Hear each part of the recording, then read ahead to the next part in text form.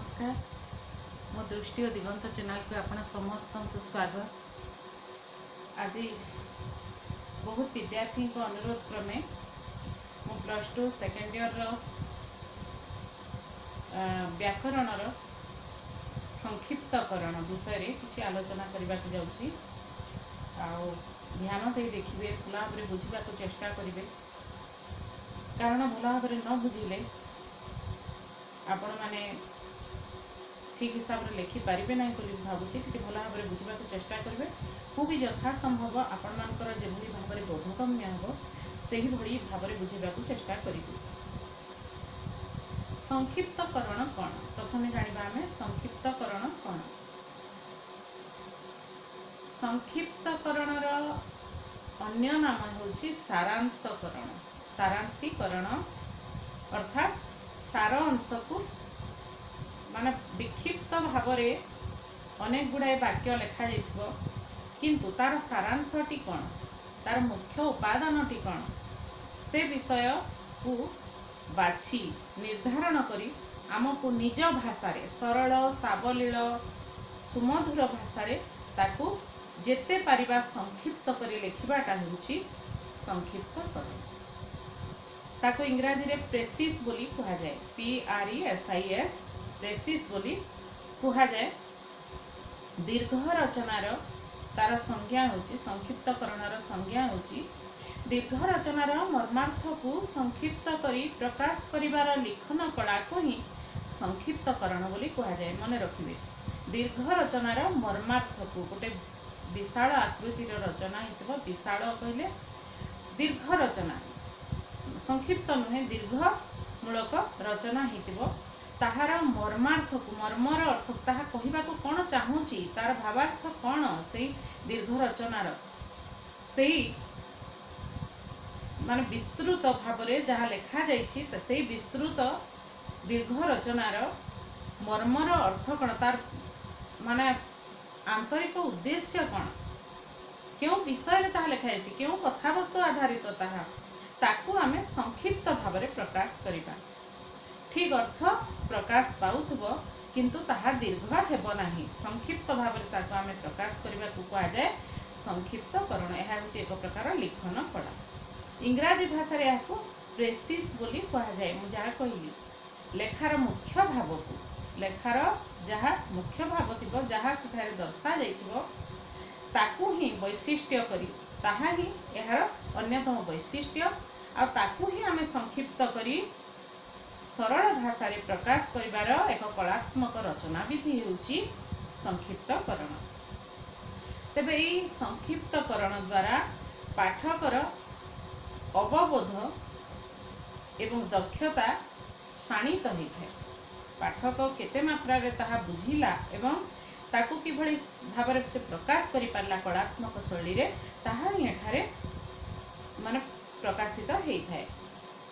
ଏହାଦ୍ୱାରା ଆଜିକାଲି କାହା ପାଖରେ ବି ସମୟ ନାହିଁ। ଏହାର ଆମେ ଉଦାହରଣଟି ନେବା? ଯେମିତି ମାନେ ସେଇ ଉଦାହରଣଟି ହେଉଛି ଦେଖନ୍ତୁ ଆମେ ଧରନ୍ତୁ ପେପର ପଢ଼ିବାକୁ ବସିଲେ। ନ୍ୟୁଜ୍ ପେପର ସବୁଦିନ ଯେତେବେଳେ ସମୟ ବି ପାଉ ଯାହାର ଯେଉଁ ବିଷୟ ପ୍ରତି ଆଗ୍ରହ ସେଇ ବିଷୟକୁ ଆମେ ଦେଖିଥାଉ। ନ୍ୟୁଜ୍ ପେପରରେ ମଧ୍ୟ ଯେକୌଣସି ମାଗାଜିନ୍ରେ ମଧ୍ୟ ଦେଖିଥାଉ। ତେବେ ସେଇ ସମୟରେ ଆମେ କେତେବେଳେ ଟୋଟାଲ ବିଷୟବସ୍ତୁକୁ ପଢ଼ୁ ପ୍ରଥମେ ଆମେ ହେଡ଼ଲାଇନ୍ ଦେଖିଦେଉ। ହେଡ଼ଲାଇନ୍ରେ କ'ଣ ଅଛି? ଧରନ୍ତୁ ଶିବ ନହେଲେ ବି ଗଳାରେ ସାପ ଗୋଟିଏ ହେଡ଼ଲାଇନ୍ ଦେଲି। ଆମକୁ ଇଣ୍ଟରେଷ୍ଟ ଲାଗିବ ପଢ଼ିବା ପାଇଁ ଜାଣିବା ପାଇଁ ଇଚ୍ଛା ହେବ। ଆରେ ଏଇଟା ମାନେ ଶିବ ନହେଲେ ବି ଗଳାରେ ସାପ ମାନେ ନିଶ୍ଚିତ ଭାବରେ ଆମ ମାନେ ମସ୍ତିଷ୍କ ଭିତରେ ଗୋଟେ ମାନେ ଦୃଶ୍ୟଟି ଖେଳିଯିବ ଯେ ଶିବ ସିନା ମହାଦେବ ସିନା ଗଳାରେ ସାପ ମାନେ ଲଗେଇଥାନ୍ତି ଗଳାର ଚାରିପାଖରେ ଗୁଡ଼େଇ ହେଇଥାନ୍ତି ନାଗ ସାପ ଗୁଡ଼େଇ ହେଇଥାନ୍ତି କିନ୍ତୁ ଇଏ ଶିବ ନୁହେଁ ସାଧାରଣ ଜଣେ ମଣିଷ କିଭଳି ସାପଟେ ଗୁଡ଼େଇ ହେଲା ସେଇ ଦୃଶ୍ୟଟା ଆମ ଆଖି ଆଗରେ ନାଚି ଉଠିବ। ଆଉ ତାକୁ ଆମକୁ ପଢ଼ିବାକୁ ବି ଇଚ୍ଛା ହେବ। କିନ୍ତୁ ଯଦି ସମୟ ଥାଏ ଆଉ ସମୟର ଯଦି ଅଭାବ ଥାଏ ନାଇଁ ସେମିତି କିଛି ଗୋଟେ ହେଇଥିବ ଦୃଶ୍ୟ ଦୃଶ୍ୟପଟ ଆମ ଆଖି ଆଗରେ ନାଚିଗଲା ଆମେ ସେମିତି ଗୋଟେ ହେଇଥିବ ବୋଲି ଭାବି ଆମ ମନକୁ ବୁଝେଇଦେବା ଆଉ ପଢ଼ିବା ପାଇଁ ଆମ ପାଇଁ ଆମ ପାଖରେ ସମୟ ନଥିବ। ସେମିତି ଆଜିକାଲି ଅନେକଙ୍କ ପାଖରେ ହେଉଛି। ସମୟର ଘୋର ଅଭାବ ଦେଖାଦେଉଛି ଆଉ ସମୟର ଧରନ୍ତୁ ଅନ୍ୟ କୌଣସି ଟାଇଟିଲ୍ ଯଦି ଦିଆଯାଇଥାନ୍ତା ସେଠି ହେଡ଼ଲାଇନ୍ଟି ଯଦି ଅନ୍ୟ କିଛି ଥାନ୍ତା ଯାହାକି ଆକର୍ଷକ ହେଇନଥାନ୍ତା ତାହେଲେ ଆମକୁ ପଢ଼ିବାକୁ ବି ଇଚ୍ଛା ଲାଗନ୍ତା ନାହିଁ ଲାଗନ୍ତା ନାହିଁ କି ଆମେ ଜାଣି ବି ପାରନ୍ତେ ନାହିଁ କ'ଣ କେଉଁ ବିଷୟବସ୍ତୁ ଆଧାରିତ ମାନେ ବିଷୟବସ୍ତୁ ସହିତ ତାହା ମୋଟେ ସମ୍ପର୍କିତ ନଥିବ ଧରନ୍ତୁ। ସେଇଭଳି ଗୋଟେ ହେଡ଼ଲାଇନ୍ ଅଛି। ମାନେ ହେଡ଼ଲାଇନ୍ ଥିବ ଯାହା ବିଷୟବସ୍ତୁ ପଢ଼ିଲେ ଠିକ୍ ତାର ଓଲଟା ଥିବ ଅଲଗା ଗୋଟେ ବିଷୟ ଉପରେ ଆଧାରିତ ଥିବ। ଆମକୁ ପଢ଼ିବାକୁ ଇଚ୍ଛା ହେବ ନାହିଁ। ତେବେ କମ୍ ରଚନା ମଧ୍ୟରେ ମାନେ ସଠିକ୍ ବିଷୟ ନିର୍ଦ୍ଧାରଣ କରିବା ଏବଂ ତାର ଭାବାର୍ଥକୁ ଆମେ କମ୍ ରଚନା ଭିତରେ କମ୍ ସମୟ ଭିତରେ ପାଠକ ସାମ୍ନାରେ ଆମେ ଉପସ୍ଥାପନ କରିବା ତାହେଲେ ଏହା ଗୋଟେ ପ୍ରକାର ହେବ କଳାତ୍ମକ ଶୈଳୀ। ଆଉ ସେହି କଳାତ୍ମକ ଶୈଳୀର ଅନ୍ୟ ନାମ ହେଉଛି କ'ଣ? ସଂକ୍ଷିପ୍ତକରଣ। ଆଉ ସାଧାରଣତଃ ମନେ ରଖିବେ ଏଇଟା ସାଧାରଣତଃ ସଂକ୍ଷିପ୍ତକରଣରେ ମୂଳ ଲେଖାର ମୁଖ୍ୟ ଭାବକୁ ମୂଳ ଲେଖାର ମୁଖ୍ୟ ଭାବକୁ ଏହି ସଂକ୍ଷିପ୍ତକରଣରେ ତାର ଏକ ତୃତୀୟାଂଶ ରୂପରେ ତିନି ଭାଗରୁ ଏକ ଭାଗ କରିବେ। ତାକୁ ଟୋଟାଲ ତିନି ଭାଗ କରିଦେବେ। ତିନି ଭାଗରୁ ଏକ ଭାଗ କଲେ ଯେତିକି ହେବ ସେତିକି ଧାଡ଼ି ସେତିକି ଅକ୍ଷର ସଂଖ୍ୟା ହେଇଥିବ ସେତିକି ଶବ୍ଦ ସଂଖ୍ୟା ହେଇଥିବ ସେତିକି ଭିତରେ ହିଁ ଆପଣଙ୍କୁ ପ୍ରକାଶ କରିବାକୁ ହେବ। କିନ୍ତୁ ମୁଖ୍ୟ ଭାବଟି ପ୍ରକାଶ ପାଉଥିବ। ମୁଖ୍ୟ ଉଦ୍ଦେଶ୍ୟଟି ତାର ଜଣାପଡ଼ି ଯାଉଥିବ। ଛାତ୍ରଛାତ୍ରୀମାନେ ସଂକ୍ଷିପ୍ତକରଣ ସମୟରେ କେତୋଟି ନିୟମାବଳୀ ରହିଛି କେତୋଟି ସୂଚନା ରହିଛି ତାକୁ ନିଶ୍ଚିତ ଭାବରେ ଗୁରୁତ୍ୱ ଦେବେ। ଆଉ ସେଇ ସୂଚନା ଗୁଡ଼ିକ ହେଲା ମୂଳ ଲେଖାକୁ ପ୍ରଥମେ ଆମକୁ ଦୁଇ ତିନି ଥର ଦୁଇରୁ ତିନି ଥର ପଢ଼ିବାକୁ ପଡ଼ିବ। ଯଦି ଦୁଇ ତିନି ଥର ଭିତରେ ବି ଆମର ଭଲ ଭାବରେ ହୃଦୟଙ୍ଗମ ହେବ ନାହିଁ ତାହେଲେ ତାଠାରୁ ମଧ୍ୟ ସମୟ ଯଦି ଅଛି ତାଠାରୁ ମଧ୍ୟ ଅଧିକ ଆମକୁ ପଢ଼ିବାକୁ ପଡ଼ିବ ଆଉ ଲେଖାର ସାରମର୍ମ ଯାହା ତାକୁ ଆମକୁ ଚିହ୍ନଟ କରିବାକୁ ପଡ଼ିବ। ଦୁଇ ନମ୍ବର ଏଇଟା ଗଲା ପ୍ରଥମ ସୂଚନା। ଦୁଇ ତିନି ଥର ପଢ଼ିବା ପରେ ମୂଳ ଲେଖାର ସାର ମର୍ମକୁ ବା ସାର କଥାକୁ ଆମକୁ ଚିହ୍ନଟ କରିବାକୁ ପଡ଼ିବ। ଦୁଇ ନମ୍ବର ହେଉଛି ମୁଖ୍ୟ ମୂଳ ଲେଖାର କେଉଁ ଗୁଡ଼ିକ ପ୍ରସଙ୍ଗ ଦୃଷ୍ଟିରୁ ଗୌଣ ତଥ୍ୟ ଆଉ କେଉଁ ଗୁଡ଼ିକ ପ୍ରମୁଖ ତଥ୍ୟ ତାହା ବାଛି ଲେଖିବାକୁ ହେବ। ସେଇ ମୁଖ୍ୟ ଲେଖାରେ ମୂଳ ଲେଖା ସରି ମୂଳ ଲେଖାରେ କେତୋଟି ମୁଖ୍ୟ ତଥ୍ୟ ଥିବ ଆଉ କେତୋଟି ଗୌଣ ତଥ୍ୟ ଥିବ ତାକୁ ଆମକୁ ନିର୍ଦ୍ଧାରଣ କରିବାକୁ ପଡ଼ିବ। କେଉଁଟା କେଉଁ ସବୁ ମୁଖ୍ୟ ବିଷୟ ମୁଖ୍ୟ ତଥ୍ୟ ସବୁ ରହିଛି ତାକୁ ଆମକୁ ସିଲେକ୍ସନ୍ କରିବାକୁ ପଡ଼ିବ ଆଉ ଗୌଣ ତଥ୍ୟକୁ ବାଦ୍ ଦେବାକୁ ପଡ଼ିବ। ବିଶେଷ ବାହୁଲ୍ୟ ଦୀର୍ଘ ବର୍ଣ୍ଣନା ଇତ୍ୟାଦିକୁ ଚିହ୍ନଟ କରି ସେଗୁଡ଼ିକୁ ପରିହାର କରିବାକୁ ହେବ। ଯେଉଁଠାରେ ଦୀର୍ଘ ବର୍ଣ୍ଣନା ରହିଥିବ ତାକୁ ଆମେ ପରିତ୍ୟାଗ କରିବା ଏବଂ ସନ୍ଧି ଓ ଏକପଦୀକରଣ ଭିତ୍ତିରେ ଭାବାର୍ଥକୁ ସଂକ୍ଷିପ୍ତ କରି ସନ୍ଧି ଏବଂ ଏକପଦୀକରଣ ଏକପଦୀକରଣ ଆପଣମାନେ ବିଦ୍ୟାଳୟ ସ୍ତରରୁ ପଢ଼ି ଆସୁଛନ୍ତି। ନବମ ଶ୍ରେଣୀ ଦଶମ ଶ୍ରେଣୀରେ ମଧ୍ୟ ଜାଣିଥିବେ। ତେବେ ଏଇ ସନ୍ଧି ଏବଂ ଏକପଦୀ ଏକପଦୀକରଣ କ'ଣ? ଜାଣିବାର ଇଚ୍ଛା? ଜିଜ୍ଞାସା ପିଇବାର ଇଚ୍ଛା ପିପାସା ଦେଖନ୍ତୁ ମାନେ କେତେ ବଡ଼ ବାକ୍ୟଟି କେତେ ବଡ଼ ମାନେ ବିଶେଷ ବି ବଡ଼ ନୁହେଁ କିନ୍ତୁ ତାକୁ କିଭଳି ମାତ୍ର ତିନୋଟି ଅକ୍ଷର ଗୋଟେ ଛୋଟ ଶବ୍ଦ ମଧ୍ୟରେ ପ୍ରକାଶ କରାଗଲା ମହାକାଶରେ ବିଚରଣ କରେ ଯେ ମହାକାଶଚାରୀ ବୁଝିପାରିଲେ କି ନାହିଁ ମୁଁ ଯାହା କହୁଛି ଠିକ୍ ସେଇଭଳି ସନ୍ଧି ଏବଂ ଏକପଦୀକରଣ ଭିତ୍ତିରେ ଭାବାର୍ଥକୁ ଆମେ ଯଥାସମ୍ଭବ ସଂକ୍ଷିପ୍ତ କରିବାକୁ ପଡ଼ିବ ଏବଂ ଗୋଟିଏ କ୍ଷୁଦ୍ର ବାକ୍ୟରେ ତାକୁ ଲେଖିବାକୁ ପଡ଼ିବ ପ୍ରକାଶ କରିବାକୁ ପଡ଼ିବ। ତିନି ନମ୍ବର କଲା ସୂଚନା ଚାରି ନମ୍ବର। ଭାବ ସଂକ୍ଷେପଣ କ୍ଷେତ୍ରରେ ପ୍ରଦତ୍ତ ଅନୁଚ୍ଛେଦର ଏକ ତୃତୀୟାଂଶ ଶବ୍ଦ ମାଧ୍ୟମରେ ଭାବକୁ ସଂକ୍ଷେପଣ କରିବାକୁ ପଡ଼ିବ ଯଥାସମ୍ଭବ ସଂକ୍ଷିପ୍ତ କରିବାକୁ ପଡ଼ିବ। ସେଇ ଭାବକୁ ଯାହା ବି ଆମର ମୁଖ୍ୟ ଭାବ ଥିବ ମୂଳ ଲେଖାର ଯାହା ମୁଖ୍ୟ ବିଷୟବସ୍ତୁ ଥିବ ଗଣକୁ ଆମେ ବାଦ ଦେଇଦେବା। ମୁଖ୍ୟ ବିଷୟବସ୍ତୁ ଯାହା ଥିବ କଥାବସ୍ତୁ ଯାହା ଥିବ ତାକୁ ଆମେ ପୁଣି ସର୍ଟକଟ୍ କରିବା ପୁଣି ସଂକ୍ଷିପ୍ତ କରିବା। ଆଉ ଯେଭଳି ତାହା ମୂଳ ଯେଉଁ ଅନୁଚ୍ଛେଦଟି ରହିଥିବ ତାହାର ଏକ ତୃତୀୟାଂଶ କରିବାକୁ ଚେଷ୍ଟା କରିବା। କାହା ମାଧ୍ୟମରେ? ସନ୍ଧି ଏବଂ ଏକପଦୀକରଣ ମାଧ୍ୟମରେ। ସେଇ ଭିତ୍ତିରେ ଆମେ ଆମର ସଂକ୍ଷିପ୍ତକରଣକୁ ପ୍ରୟୋଗ କରିବା। କିନ୍ତୁ ଉପଯୁକ୍ତ ଭାବ ଯେଉଁ ଭାବ ପ୍ରକାଶ କରିବା ପାଇଁ ଅନୁଚ୍ଛେଦଟି ଉଦ୍ଦିଷ୍ଟ ତାହା ସଂକ୍ଷିପ୍ତକରଣ ମାଧ୍ୟମରେ ମଧ୍ୟ ପ୍ରକାଶ ପାଉଥିବା ଉଚିତ ସେଇ ଭାବଟି ପ୍ରକାଶିତ ହେଉଥିବା ଉଚିତ ତାପରେ ଶେଷରେ ଏତେ ସବୁ କଲା ପରେ ଶେଷରେ ଆମକୁ ଶବ୍ଦ ଗଣନା କରିବାକୁ ହେବ ସଠିକ ହେଲା କି ନାହିଁ ଏକ ତୃତୀୟାଂଶ ହେଇଛି କି ନାହିଁ ଆମେ ସଠିକ ଶବ୍ଦ ସବୁ ପ୍ରୟୋଗ କରିଛେ କି ନାହିଁ ସେହି ଅନୁଯାୟୀ ଆମକୁ ଗଣନା କରିବାକୁ ପଡ଼ିବ। ତାପରେ ଆଉ କ'ଣ? ପୁନର୍ଲିଖନ ପରେ ସଂକ୍ଷିପ୍ତ ଅନୁଚ୍ଛେଦର ଏକ ସୁନ୍ଦର ନାମକରଣ ବା ଶୀର୍ଷକ ଆମକୁ ବାଛିବାକୁ ପଡ଼ିବ। ଯେତେବେଳେ ଆମେ ଲେଖି ସାରିବା ସଂକ୍ଷିପ୍ତକରଣ ଆମର ସମାପ୍ତ ହେଇଯିବ। ସଂକ୍ଷିପ୍ତ ଭାବରେ ଆମେ ମୂଳ କଥାବସ୍ତୁକୁ ଲେଖି ସାରିବା। ତାପରେ ଆମେ ତାର ଗୋଟେ ଉପଯୁକ୍ତ ନାମକରଣ କରିବା। ନାମକରଣ ବିନା ତାର କିଛି ମୂଲ୍ୟ ରହିବ ନାହିଁ। ନାମକରଣ ବା ତାର ଗୋଟେ ଶୀର୍ଷକ ଆମକୁ ବାଛିବାକୁ ହେବ। ଯାହାକି ତା ସହିତ ମିଶୁଥିବ ଖାପ ଖାଉଥିବ। ଆଉ ମୂଳ ବିଷୟବସ୍ତୁ ଠାରୁ ଯଦି ନାମକରଣ ମୁଁ ଯାହା ଟିକେ ପୂର୍ବରୁ କହୁଥିଲି ମୂଳ ବିଷୟବସ୍ତୁ ଠାରୁ ଯଦି ତାହା ପୃଥକ ହୁଏ ତାହା ଯୋଗ୍ୟ ବିବେଚିତ ହେବ ନାହିଁ। ମୂଳ ଲେଖାରେ କୌଣସି ପରିସ୍ଥିତିରେ କିଛି ନୂତନ ତଥ୍ୟ ସଂଯୋଗ କରିବା ଏହାକୁ ସଂଶୋଧନ କରିବା ବା ଏ ସମ୍ପର୍କରେ କୌଣସି ଟିପ୍ପଣୀ ଦେବା ଛାତ୍ରଛାତ୍ରୀଙ୍କ ପରିସରଭୁକ୍ତ ନୁହେଁ। ମୂଳ ଲେଖାରେ ଆମେ ଯେକୌଣସି ପରିସ୍ଥିତି ହେଉ ପଛେ କିଛି ନୂତନ ତଥ୍ୟ ଯୋଗ କରିପାରିବା ନାହିଁ ଯୋଡ଼ି ପାରିବା ନାହିଁ। ନୂଆ ତଥ୍ୟ ସବୁ ଆମେ ଚାହିଁଲେ ମଧ୍ୟ ସେଥିରେ ଦେଇପାରିବା ନାହିଁ ସେ ଅଧିକାର ଆମର ନାହିଁ। ପୁଣି ତାକୁ ଆମେ ସଂଶୋଧନ କରିବାର ବି ଅଧିକାର ନାହିଁ। ଆଉ କ'ଣ? ତା ବିଷୟରେ କିଛି ଟିପ୍ପଣୀ ଦେବାର ଟୀକା ବା ଟିପ୍ପଣୀ ଦେବାର ବି ଆମର ଅଧିକାର ନାହିଁ। ଛାତ୍ରଛାତ୍ରୀଙ୍କର ପରିସରଭୁକ୍ତ ନୁହେଁ। ସଂକ୍ଷିପ୍ତକରଣ କରିବା ସମୟରେ ଛାତ୍ରଛାତ୍ରୀ ମୂଳ ଲେଖାର ମୁଖ୍ୟ ଭାବକୁ କେବଳ ସଂକ୍ଷିପ୍ତ ଭାବରେ ହିଁ ପ୍ରକାଶ କରିପାରିବେ। ଅନ୍ୟଥା ନିଜର ମତାମତ କିଛି ଦେଇପାରିବେ ନାହିଁ କିଛି ଟିପ୍ପଣୀ ଦେଇପାରିବେ ନାହିଁ କି ନୂତନ ତଥ୍ୟ ଦେଇପାରିବେ ନାହିଁ କି ସଂଶୋଧନ ମଧ୍ୟ କରିପାରିବେ ନାହିଁ। ତାପରେ ପୁନର୍ଲିଖନ ସମୟରେ ମୁଖ୍ୟ ଭାବର ସଂହତି ଯେପରି ନଷ୍ଟ ନ ହୁଏ ଛାତ୍ରଛାତ୍ରୀ ସେଥିପ୍ରତି ଯଥେଷ୍ଟ ଧ୍ୟାନ ଦେବା ଉଚିତ। ଯାହା ତାର ମୁଖ୍ୟ ଭାବ ଥିବ ତାର ସଂହତି ତାର ଏକତା ଯେଭଳି ନଷ୍ଟ ନ ହେବ ସେଥିପ୍ରତି ମଧ୍ୟ ଆମକୁ ଦୃଷ୍ଟି ଦେବାକୁ ପଡ଼ିବ। ସଂକ୍ଷିପ୍ତକରଣ ସମୟରେ ଛାତ୍ରଛାତ୍ରୀ ଯଥାସମ୍ଭବ ନିଜ ଭାଷା ପ୍ରୟୋଗ କରିବା ଆବଶ୍ୟକ।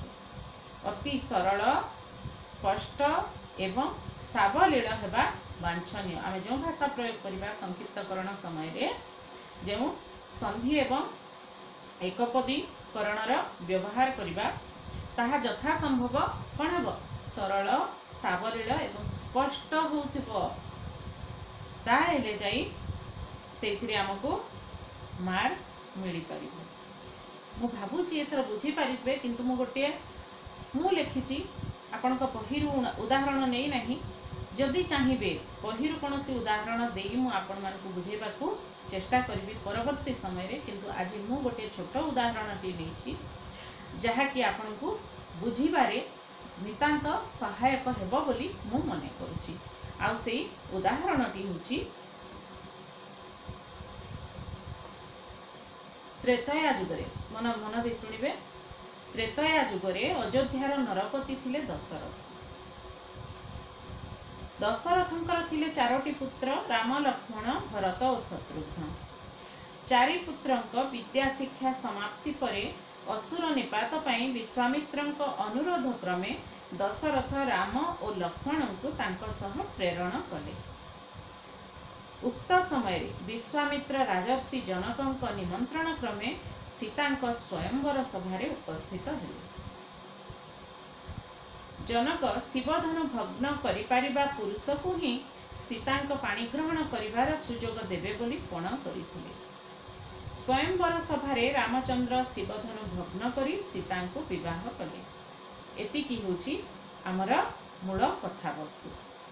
ମନେ ମନେ ରହିଲା ଆପଣମାନଙ୍କ ସମସ୍ତଙ୍କର? ଟିକିଏ ସ୍ପିଡ଼ରେ ପଢ଼ି ଦେଉଛି। ଆଉ ଥରେ ଭଲ ଭାବରେ ଶୁଣନ୍ତୁ। ତ୍ରେତୟା ଯୁଗରେ ଅଯୋଧ୍ୟାର ନରପତି ଥିଲେ ଦଶରଥ ଦଶରଥଙ୍କର ଥିଲେ ଚାରୋଟି ପୁତ୍ର ରାମ ଲକ୍ଷ୍ମଣ ଭରତ ଓ ଶତ୍ରୁଘ୍ନ। ଚାରିପୁତ୍ରଙ୍କ ବିଦ୍ୟାଶିକ୍ଷା ସମାପ୍ତି ପରେ ଅସୁର ନିପାତ ପାଇଁ ବିଶ୍ୱାମିତ୍ରଙ୍କ ଅନୁରୋଧ କ୍ରମେ ଦଶରଥ ରାମ ଓ ଲକ୍ଷ୍ମଣଙ୍କୁ ତାଙ୍କ ସହ ପ୍ରେରଣ କଲେ। ଉକ୍ତ ସମୟରେ ବିଶ୍ୱାମିତ୍ର ରାଜର୍ଷି ଜନକଙ୍କ ନିମନ୍ତ୍ରଣ କ୍ରମେ ସୀତାଙ୍କ ସ୍ୱୟଂବର ସଭାରେ ଉପସ୍ଥିତ ହେଲେ। ଜନକ ଶିବଧନୁ ଭଗ୍ନ କରି ଭଗ୍ନ କରିପାରିବା ପୁରୁଷକୁ ହିଁ ସୀତାଙ୍କ ପାଣି ଗ୍ରହଣ କରିବାର ସୁଯୋଗ ଦେବେ ବୋଲି ପଣ କରିଥିଲେ। ସ୍ୱୟଂବର ସଭାରେ ରାମଚନ୍ଦ୍ର ଶିବଧନୁ ଭଗ୍ନ କରି ସୀତାଙ୍କୁ ବିବାହ କଲେ। ଏଇଟା ହେଉଛି ମୂଳ କଥାବସ୍ତୁ। ମୂଳ ଅନୁଚ୍ଛେଦ ତାପରେ ଆମେ ତାକୁ ସଂକ୍ଷିପ୍ତ କରିବା। ତ୍ରେତାୟା ଯୁଗର ରାଜା ଦଶରଥଙ୍କର ରାମ ଲକ୍ଷ୍ମଣ ଭରତ ଓ ଶତ୍ରୁଘ୍ନ ନାମରେ ଚାରୋଟି ପୁତ୍ର ଥିଲେ। ଦେଖନ୍ତୁ ମୁଁ ଯେତେବେଳେ ସଂକ୍ଷିପ୍ତକରଣ କରାଯାଇ ନଥିଲା ସେତେବେଳେ ମୁଁ ଲେଖିଥିଲି ତ୍ରେତାୟା ଯୁଗରେ ଅଯୋଧ୍ୟାର ନରପତି ଥିଲେ ଦଶରଥ ଦଶରଥଙ୍କର ଥିଲେ ଚାରୋଟି ପୁତ୍ର ରାମ ଲକ୍ଷ୍ମଣ ଭରତ ଶତ୍ରୁଘ୍ନ। ହେଲା? କିନ୍ତୁ ଏଇଠି ତାକୁ ଯଥାସମ୍ଭବ ସଂକ୍ଷିପ୍ତ କରିଦେଇଛି। ତ୍ରେତାୟା ଯୁଗର ରାଜା ଦଶରଥଙ୍କର ରାମ ଲକ୍ଷ୍ମଣ ଭରତ ଶତ୍ରୁଘ୍ନ ନାମରେ ଚାରୋଟି ପୁତ୍ର ଥିଲେ। ଦେଖନ୍ତୁ କେତେ ପାର୍ଥକ୍ୟ ରହିଲା। ଆମର ମୂଳ ଅର୍ଥଟି ମଧ୍ୟ ଯାହା ମୁଖ୍ୟ ଅର୍ଥ ତାହା ପ୍ରକାଶ ପାଇଲା। ଆମେ ଭଲ ଭାବରେ ବୁଝିପାରିଲେ ସଂକ୍ଷିପ୍ତକରଣ କଲା ପରେ ମଧ୍ୟ କିନ୍ତୁ ବିଶେଷ ଦୀର୍ଘ ହେଲା ନାହିଁ। ତାପରେ ବିଦ୍ୟା ଶିକ୍ଷା ସମାପ୍ତି ପରେ ପିତାଙ୍କ ଅନୁମତି କ୍ରମେ ଅସୁର ବିନାଶ ପାଇଁ ରାମ ଲକ୍ଷ୍ମଣ ବିଶ୍ୱାମିତ୍ରଙ୍କ ସାଙ୍ଗରେ ଗଲେ। କିନ୍ତୁ ମୁଁ ମୂଳ ଅନୁଚ୍ଛେଦରେ ଲେଖିଛି ବିଦ୍ୟା ଚାରିପୁତ୍ରଙ୍କ ବିଦ୍ୟା ଶିକ୍ଷା ସମାପ୍ତି ପରେ ଅସୁର ନିପାତ ପାଇଁ ବିଶ୍ୱାମିତ୍ରଙ୍କ ଅନୁରୋଧ କ୍ରମେ ଦଶରଥ ରାମ ଓ ଲକ୍ଷ୍ମଣଙ୍କୁ ତାଙ୍କ ସହ ପ୍ରେରଣ କଲେ। କିନ୍ତୁ ଯେତେବେଳେ ସଂକ୍ଷିପ୍ତ ହୋଇଗଲା ତାକୁ ଆମେ କ'ଣ କଲେ? ବିଦ୍ୟା ଶିକ୍ଷା ସମାପ୍ତି ପରେ ପିତାଙ୍କ ଅନୁମତି କ୍ରମେ ଅସୁର ବିନାଶ ପାଇଁ ରାମ ଲକ୍ଷ୍ମଣ ବିଶ୍ୱାମିତ୍ରଙ୍କ ସାଙ୍ଗରେ ଗଲେ। ତାପରେ ଉକ୍ତ ସମୟରେ ରାଜର୍ଷି ଜନକଙ୍କ ନିମନ୍ତ୍ରଣ କ୍ରମେ ସଂକ୍ଷିପ୍ତକରଣ ପଢ଼ୁଛି ମୁଁ। ରାଜର୍ଷି ଜନକଙ୍କ ନିମନ୍ତ୍ରଣ କ୍ରମେ ମିଥିଳାର ସ୍ୱୟଂବର ସଭାରେ ଶିବଧନୁ ଭଗ୍ନ କରି ସୀତାଙ୍କୁ ବିବାହ କଲେ। ଦେଖନ୍ତୁ ଦୁଇଟି ଧାଡ଼ିରେ ସରିଗଲା। କିନ୍ତୁ ଏଠି କେତେ ଅଛି ଦେଖନ୍ତୁ। ଉକ୍ତ ସମୟରେ ବିଶ୍ୱାମିତ୍ର ରାଜର୍ଷି ଜନକଙ୍କ ନିମନ୍ତ୍ରଣ କ୍ରମେ ସୀତାଙ୍କ ସ୍ୱୟଂବର ସଭାରେ ଉପସ୍ଥିତ ହେଲେ। ଜନକ ଶିବଧନୁ ଭଗ୍ନ କରିପାରିବା ପୁରୁଷକୁ ହିଁ ସୀତାଙ୍କ ପାଣି ଗ୍ରହଣ କରିବାର ସୁଯୋଗ ଦେବେ ବୋଲି ପଣ କରିଥିଲେ। ସ୍ୱୟଂବର ସଭାରେ ରାମଚନ୍ଦ୍ର ଶିବଧନୁ ଭଗ୍ନ କରି ସୀତାଙ୍କୁ ବିବାହ କଲେ। କେତେ ଅଛି? ପାଞ୍ଚ ଧାଡ଼ି ଅଛି। କିନ୍ତୁ ତାକୁ ମୁଁ ଦୁଇଟି ଧାଡ଼ିରେ ସଂକ୍ଷିପ୍ତ କରି ଲେଖିଦେଇଛି କିନ୍ତୁ ସେହି ଏକା ଅର୍ଥ ପ୍ରକାଶ ପାଉଛି ଅର୍ଥଗତ କୌଣସି ପାର୍ଥକ୍ୟ ରହିବା ଉଚିତ ନୁହେଁ। ଅର୍ଥ ଏକା ପ୍ରକାଶ ପାଉଥିବ କିନ୍ତୁ ଆମେ ତାକୁ ଯଥାସମ୍ଭବ ସଂକ୍ଷିପ୍ତ କରିବା। ଯେତେବେଳେ ସଂକ୍ଷିପ୍ତ କରିଦେଇଛି କେମିତି ହେଇଛି? ରାଜର୍ଷି ଜନକଙ୍କ ନିମନ୍ତ୍ରଣ କ୍ରମେ ମିଥିଳାର ସ୍ୱୟଂବର ସଭାରେ ଶିବଧନୁ ଭଗ୍ନ କରି ରାମଚନ୍ଦ୍ର ସୀତାଙ୍କୁ ବିବାହ କଲେ। ହେଲା ମୁଁ ଏଇ ଉଦାହରଣଟି ଆପଣମାନଙ୍କର ବୁଝିବା ପାଇଁ ସହଜ ହେବ ବୋଲି ମୁଁ ନିଜେ ଲେଖିକିରି ଆପଣମାନଙ୍କୁ ଦେଇଛି ବହିରୁ କୌଣସି ଉଦାହରଣ ନେଇନାହିଁ କିନ୍ତୁ ଏହାକୁ ଭଲ ଭାବରେ ଆପଣମାନେ ବୁଝିବେ ଏବଂ ବହି ଭିତରେ ଯାହା ସବୁ ଅନୁଚ୍ଛେଦ ଅଛି ତାକୁ ଆପଣ ସଂକ୍ଷିପ୍ତ କରିବା ପାଇଁ ସଂକ୍ଷିପ୍ତ ଭାବରେ ସଂକ୍ଷିପ୍ତକରଣ କରି ସଂକ୍ଷିପ୍ତ ଯଥାସମ୍ଭବ ସଂକ୍ଷିପ୍ତ କରି ଲେଖିବାକୁ ଚେଷ୍ଟା କରିବେ କିନ୍ତୁ ମୂଳ ଅର୍ଥରେ କୌଣସି ବ୍ୟାଘାତ ସୃଷ୍ଟି ହେଉଥିବା ଉଚିତ ନୁହେଁ ତେବେ ସରିଲା। ଆପଣମାନେ ଯଦି କମେଣ୍ଟ ବକ୍ସରେ ଲେଖିବେ ତାହେଲେ ବହିର କୌଣସି ଗୋଟିଏ ଉଦାହରଣକୁ ନେଇ ଉଦାହରଣକୁ ନେଇ ମୁଁ ପରବର୍ତ୍ତୀ ଭିଡ଼ିଓ କରିବି। ଆଉ ଯଦି ଆପଣମାନଙ୍କର ବୁଝିବାରେ ଏହା ନିତାନ୍ତ ସହାୟକ ହୋଇଥିବ ଆପଣମାନେ ନିଜେ ଚେଷ୍ଟା କରିବେ ଅନୁଚ୍ଛେଦ ଗୁଡ଼ିକୁ ଯଥାସମ୍ଭବ ସଂକ୍ଷିପ୍ତ କରିବା ପାଇଁ। ଆଉ ଖୁସିରେ ବି ସଂକ୍ଷିପ୍ତ ହେଲା ପରେ ଖୁସିରେ ବି କମେଣ୍ଟ ବକ୍ସରେ ଲେଖିବେ ମ୍ୟାଡ଼ାମ୍ ଆମେ ବୁଝିଗଲୁ ଆପଣ ଯେମିତି କହିଥିଲେ ଆମେ ଠିକ୍ ସେମିତି ଭାବରେ ଖୁବ୍ ସୁନ୍ଦର ଭାବରେ ଲେଖି ଦେଇଛୁ ମୁଁ ଜାଣିଲେ ବିଶେଷ ଆନନ୍ଦିତ ହେବି ଆପଣମାନଙ୍କର ସବୁ କମେଣ୍ଟ ମୁଁ ପଢ଼େ କିନ୍ତୁ ମୁଁ କହିଛି ବାରମ୍ବାର କହିଛି ମୋର ଶାରୀରିକ ଅସୁସ୍ଥତା ରହିଛି ମୋର ବ୍ୟାକ୍ ପେନ୍ ରହିଛି ଆଉ ବ୍ୟାକ୍ ପେନ୍ ପାଇଁ ମୁଁ ବସି ବି ପାରେ ନାହିଁ ବହୁତ କଷ୍ଟ ହୁଏ ମୋତେ ପ୍ରାୟ ସମୟ ମାନେ ଧରିକି ମୋର ବ୍ୟାକ୍ ପେନ୍ ସବୁବେଳେ ପ୍ରାୟ ହେଉଥାଏ পরিশ্রম ঘটে করে পে না বসি পে না, শোইপারে না, ছিড়া হয়ে পে কিছু করে পে না কিন্তু যেতবে টিকি পেন রিলিফ হুয়ে মেডিসিন সবুদিন চালিছি যেতবে টিকি রিলিফ মিলে মতো মু আপন মানকর মানে সহায়ক হওয়া আপন মানুষ কিছু সাহায্য করা তৎপর হুয়ে আশ্চিত ভাবে ଆପଣମାନଙ୍କର କମେଣ୍ଟ ଗୁଡ଼ିକର ବି ଉତ୍ତର ଦେବି। ଆଉ ଖୁବ୍ ଶୀଘ୍ର ମୋର ଚ୍ୟାନେଲଟି ମନିଟାଇଜ୍ ହେବ ବୋଲି ମୁଁ ଭାବୁଛି। ପ୍ରାୟ ପାଖାପାଖି ଗଲାଣି।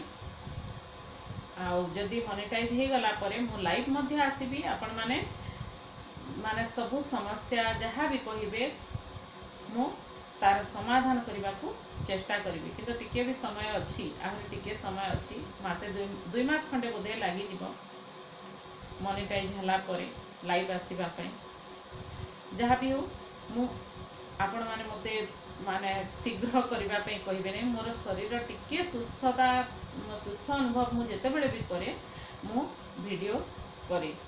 ଆଉ କରିବି ନିଶ୍ଚିତ ଭାବରେ କରିବି। ଆପଣମାନେ ଯାହା ସବୁ ବି ଲେଖିଛନ୍ତି ଯେଉଁ ସବୁ ବିଷୟ ପଢ଼ାଇବା ପାଇଁ ବି ଲେଖିଛନ୍ତି ସେଇ ବିଷୟକୁ ନେଇକରି ବି ମୁଁ ଆଲୋଚନା କରିବି। ନିଶ୍ଚିତ ଭାବରେ ଟିକିଏ ଭଲ ଲାଗିଲେ ମୁଁ କରିବି। ଆଉ ଆପଣମାନେ ମାନେ ଜାଣିବେ ବୋଲି କହିଦେଉଛି ମୋର ଏଇ କଷ୍ଟ ପାଇଁ ହିଁ ମାନେ ମୋର ଏତେ ବଡ଼ ସମସ୍ୟା ଏଇଟା ମୋର ସ୍ପାଇନାଲ୍ କର୍ଡ଼ରେ ପ୍ରୋବ୍ଲେମ୍ ଅଛି ସେଇଥିପାଇଁ ଏତେ କଷ୍ଟ ଭୋଗ କରୁଛି ମୁଁ ଆଉ ତାର ସଲ୍ୟୁସନ୍ ଏକମାତ୍ର ସଲ୍ୟୁସନ୍ ହେଉଛି ଅପରେସନ୍ କିନ୍ତୁ ଅପରେସନ୍ ବି ସକ୍ସେସ୍ ହେବାର ଗୋଟିଏ ପରସେଣ୍ଟ ଚାନ୍ସ ଅଛି ଆଉ ମେଡ଼ିସିନରେ ଏଇଟା କ୍ୟୁରେବୁଲ୍ ନୁହେଁ ସେଇ ଯେଉଁ ଗୋଟିଏ ପରସେଣ୍ଟ ଚାନ୍ସ ଅଛି ବାକି ନାଇଣ୍ଟି ନାଇନ୍ ପରସେଣ୍ଟ ଯଦି ସକ୍ସେସ୍ ହେଲା ନାହିଁ ତାହେଲେ ପାରାଲାଇଜ୍ ହେଇଯିବ ସେଇଥିପାଇଁ ଆମେ ଭୟ କରିକି ଅପରେସନ୍ କରିବା ପାଇଁ ଚାହୁଁନାହୁଁ। ଯାହା ବି ଆଉ ଜୀବନ ସାରା ମୋତେ କଷ୍ଟ ଭୋଗ କରିବାକୁ ପଡ଼ିବ। ସେଇଥିପାଇଁ ମୁଁ ଦୁଇ ଦୁଇଟି କଲେଜ ବହୁତ ଅନୁରୋଧ କ୍ରମେ ସେଇ କଲେଜର ପ୍ରିନ୍ସିପାଲ୍ ବହୁତ ଅନୁରୋଧ କରିଥିଲେ। ସେଇଥିପାଇଁ ଦୁଇ ଦୁଇଟି କଲେଜରେ ମୁଁ ଥିଲି। ପ୍ରାୟ ବର୍ଷେ ବର୍ଷେ ପର୍ଯ୍ୟନ୍ତ ମାନେ ଛୁଟି ନେଇ ନେଇ ରହିଲି। ସେଇ ମାନେ ଷ୍ଟୁଡ଼େଣ୍ଟ ମାନେ ବି ସମସ୍ତେ ମୋତେ ବହୁତ ଭଲ ପାଉଥିଲେ। କିନ୍ତୁ ମୋର ଦୁର୍ଭାଗ୍ୟ ମୁଁ ସେମାନଙ୍କର କାମରେ ଆସିପାରିଲି ନାହିଁ ବିଶେଷ ଭାବରେ। ଆଉ ଶେଷରେ ଆମେ ଯେଉଁ ସ୍ଥାନରେ ରହୁଛୁ ସେଇ ସ୍ଥାନରେ ଗୋଟେ ସାର୍ ବିଶେଷ ଭାବରେ ଅନୁରୋଧ କଲେ ଆପଣଙ୍କର ଅସୁବିଧା ହେଲେ ଆସିବେ ନାହିଁ ବି କହିଲେ। ଆଉ ଯଦି ବି ଆସିବେ ବସିକିରି ଆପଣ ପଢ଼େଇବେ। କଲେଜମାନଙ୍କରେ ବି ମୁଁ ବସିକିରି ହିଁ ପଢ଼ଉଥିଲି। ଛିଡ଼ା ହେଇପାରେନି ମୁଁ ବିଶେଷ। ଏମିତି ଗୋଟେ ମିନିଟ୍ କି ଦୁଇ ମିନିଟ୍ ଛିଡ଼ା ହେଇପାରେ। ଆଉ କୋଚିଂ ସେଣ୍ଟର ଗୋଟେରେ ମୁଁ ପ୍ଲସ୍ ଟୁ କ୍ଲାସ୍ କରୁଥିଲି। ପ୍ରାୟ ତିନି ବର୍ଷ ଧରି ତିନି ଚାରି ବର୍ଷ ଧରି କଲି। ଆଉ ସେ ସାର୍ ବି ମୋର କଷ୍ଟ ବହୁତ ବୁଝୁଥିଲେ ଯେତେବେଳେ ମାନେ ବହୁତ କଷ୍ଟ ହୁଏ ଯାଇପାରେନି। ସେ ମାନେ ସେ ପ୍ରୋବ୍ଲେମଟି ସଲ୍ଭ କରିଦିଅନ୍ତି ଅନ୍ୟ ଆଡ଼ଜଷ୍ଟ କରିଦିଅନ୍ତି କ୍ଲାସ୍ କିଛି ବିଶେଷ ଅସୁବିଧା ହେଇନାହିଁ ସେ ସମୟରେ। କିନ୍ତୁ ଯାହା ବି ହଉ ଏବେ ମୁଁ ଘରେ ଅଛି। ଆଉ ଆଉ ଗୋଟିଏ କଥା ବି ମୁଁ ଆପଣମାନଙ୍କୁ ବିଶେଷ ଭାବରେ ଅନୁରୋଧ କରିବି ଯେ ଯାହା ମାନେ ଦବା ଅପେକ୍ଷା ଦୁଆର ଦୁଆ ବେଶୀ କାମ କରେ।